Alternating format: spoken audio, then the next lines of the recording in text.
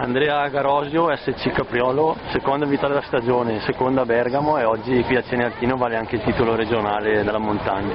Sì, sono molto contento di aver vinto oggi, dato che è campionato regionale lombardo e diciamo meglio di così non poteva andare anche perché sono riuscito a battere un ottimo Bianchini che ha vinto di recente una tappa all'aerobica e sono molto felice.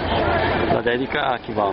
Ma la dedica dedico a tutti, i miei familiari, l'allenatore romano e anche a mio nonno dato che settimana prossima è il suo compleanno.